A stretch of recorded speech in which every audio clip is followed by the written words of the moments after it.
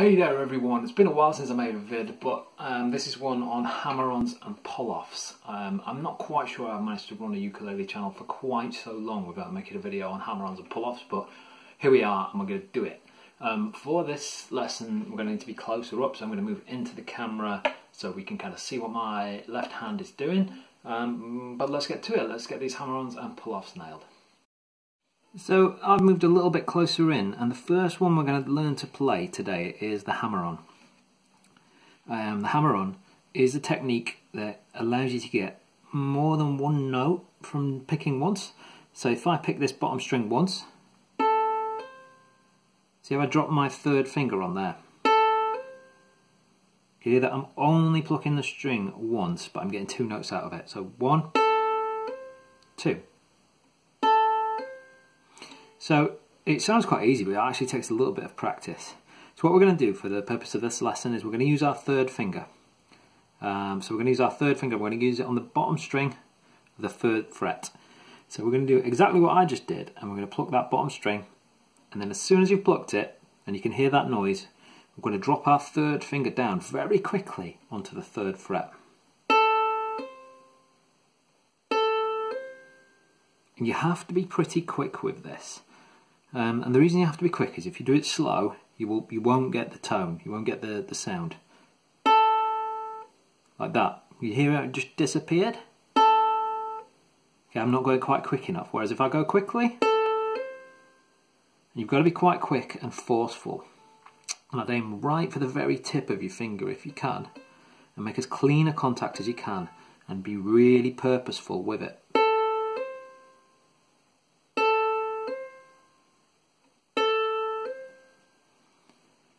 It's going to take a little bit of practice. You probably won't have the dexterity in this third finger quite to start with, but they quite often are played with your third finger or hammer offs and pull offs. So um, we're going to work on our third finger for a little bit. So let's just try that on a few different strings. So let's start with the, uh, the E string.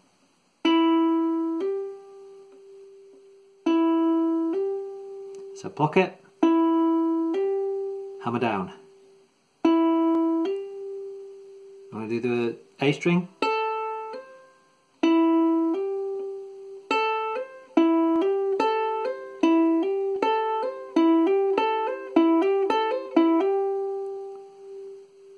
Okay, so practice that for a little bit. It's going to take a bit of getting used to. I'd throw it into your practice sessions every time while you get used to it.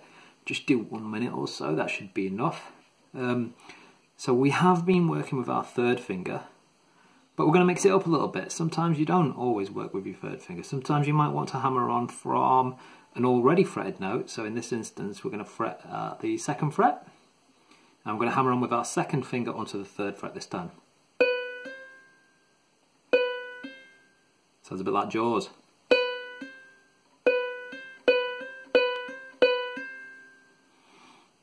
Okay, just try that. So we're going to pluck that second, uh, that bottom string on the second fret and drop our second finger down quite hard so we get that sound.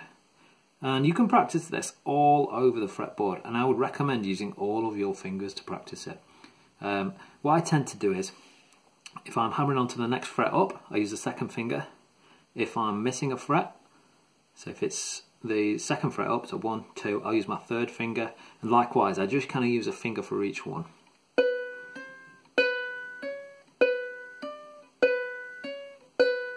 And that's actually quite a good little practice technique. So let's just do a run from the bottom up. So I'm starting on the uh, on the top string on the G string. I've got my first finger fretted there. On the first fret.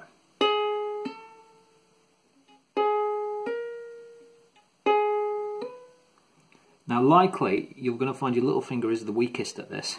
Um, and that's because you haven't really developed the dexterity in it. I would recommend trying to get to grips with the little finger well as the others. But I maybe would concentrate on my third finger a little bit more than the rest. It tends to be the one that plays more hammer-ons than any other uh, finger, but as I said, they're all pretty good for this. So that's hammer-ons. You won't get them in one go. They will take some practice and they'll be quiet at first. You might just hear a little audible trace of that second note. That's good enough to start with. As you develop and as you practice these more, you'll get that sound better and better. Sometimes you might even be able to make the second note louder than the first, but it will take some doing. So hammer-ons are not only found in playing individual notes, sometimes you hear them in chords, so I'm going to play a little strumming pattern that's got a hammer on it.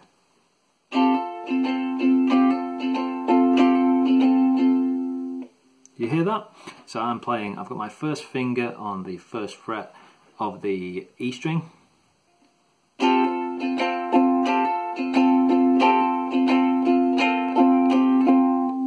And what I'm doing is I'm just hammering onto the second fret of the G string.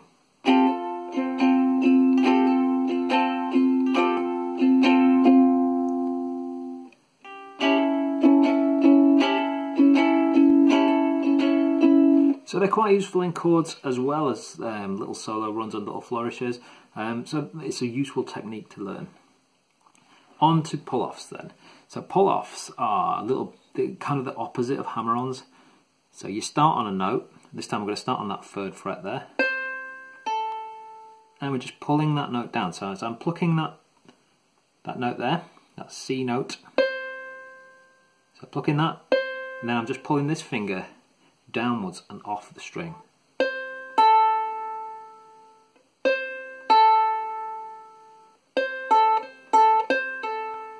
Actually, for years when I played guitar, I didn't really know how to do a pull off properly clues in the name. What I would do is just lift my finger up. And it's okay, but you've got to be very purposeful with that. Whereas if you pull down a little bit, like you're plucking the string itself, you get a much louder noise. Sometimes too loud. So let's give that a try. Third finger, third fret, bottom string. I'm going to pluck that note, then we're just going to pull down and off. That's it. Practice that a few times. And we're going to do that on another string, so we'll do that on the, uh, the E string.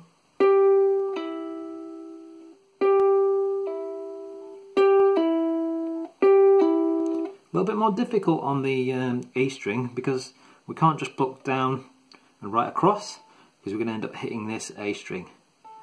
So we have to pluck down without getting that other string. We don't want to end up with that noise going on. We just want to... So again, uh, a lot of pull-offs are played with your third finger, um, but again we have to practice them all and it doesn't always go to an open string. So this time we're going to put our third finger on fret 5, we're going to put our first finger on the third fret, and we're going to pull off from our third finger so we get this going on.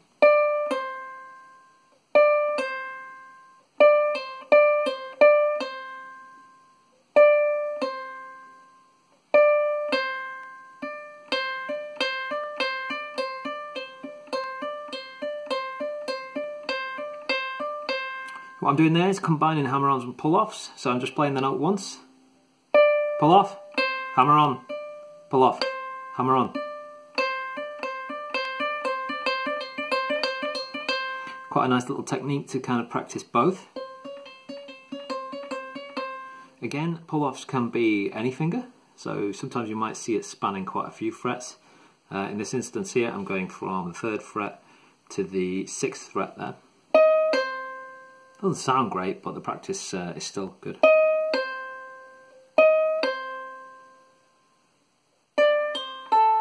Sometimes you'll see more than one. So I'm going to pull this finger off and then I'm going to pull this finger off in this one.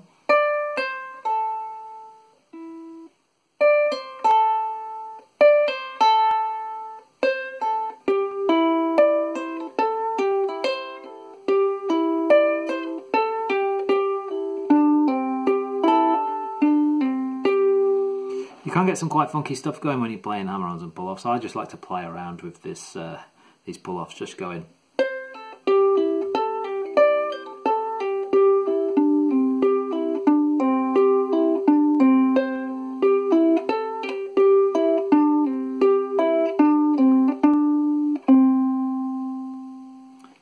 So keep practicing those. I'd recommend do a minute each day or each practice session. Um, to practice, I would probably say for your both hammer-ons and pull-offs, I would maybe start at the third fret and hammer on to the fifth. Maybe do one at the fourth with your second finger. And let's do it at the sixth with your uh, pinky.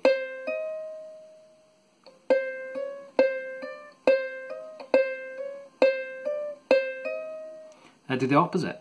So let's pull off with them all.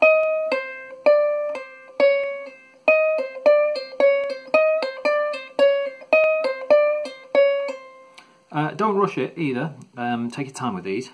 No need to be trying to get at full speed straight away. Just take it nice and steady, get them sounding really good, and move it on just slowly and surely.